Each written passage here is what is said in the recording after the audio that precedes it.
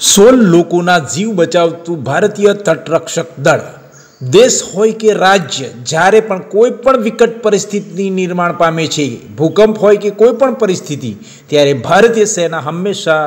વાયુદૂત બનીને ઉભરે છે જેમાંનું એક છે ભારતીય તટરક્ષક દળ એટલે કે આઈસીજી હાલ રાજ્યમાં વરસાદી માહોલ છે નદીઓ ગાંડી તૂર બની છે સમગ્ર વિસ્તારોમાં પાણી પાણી ભરાઈ ગયા છે. ત્યારે ગુજરાતના વલસાડની અંબિકા નદીના નીચાણવાળા વિસ્તારોમાં પાણીમાં ફસાયેલ સોળ લોકોને આઈસીસીના હેલિકોપ્ટર દ્વારા રેસ્ક્યુ કરી જીવ બચાવવામાં આવ્યા હતા. દમણ ખાતે આવેલ કોસ્ટગાર્ડ એર સ્ટેશન ખાતે જિલ્લા કલેક્ટર દ્વારા લોકોને બચાવવાનો કોલ મળતા જ આઈસીજીનું હેલિકોપ્ટર રેસ્ક્યુ વિસ્તારમાં પહોંચ્યું હતું અને દિલ ધડકન ઓપરેશન દ્વારા લોકોને બચાવી લેવાયા હતા આપ દ્રશ્ય જોઈ શકો છો કેવી રીતે આઈસીજીના હેલિકોપ્ટર દ્વારા લોકોને બચાવવામાં આવી રહ્યા છે